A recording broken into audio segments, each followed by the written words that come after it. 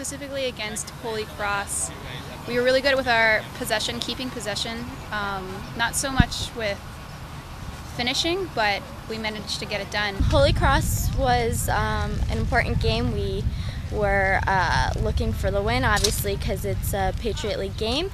Um, we really wanted to focus on playing our game and um, really um, playing a fast-paced game, not slowing it down. The few times that the ball did come into the circle, which was not that many, I was focusing on just keeping it simple, being strong, so that nothing happened, that I was there for my team. We had an awful lot of shots, but we never really made the game easy for ourselves. And I think that was to be expected, uh, having sort of an emotional uh, letdown after the big Princeton win. I'm glad in the end we were able to pull it out, but we would have certainly liked to have played a little bit better than we did.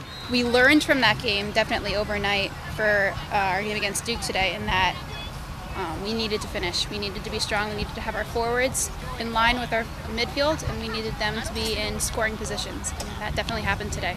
Today we had a lot of pressure to play against a great Duke team, and uh, I think in the beginning moments Duke was really playing very, very well, and uh, we had to respond and uh, get back into high gear. And fortunately, we were able to do so. And we got some great finishing on the far post on a couple goals, and then Chris uh, really put us in a great position with an awesome uh, finish on a stroke. Uh, Chris has really sensed that now is the time to get it into another gear and to be there for every major finish, and I think she's done a tremendous job of that. She's just got the heart of a lion and just full on will to get in there and make it happen. And uh, she's just been doing an amazing job of having control in the circle, setting people up, and finishing when the time's right.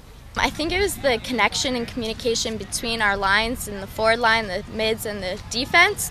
Pulling that all together and just really rushing the other team really helped us and was our greatest strength.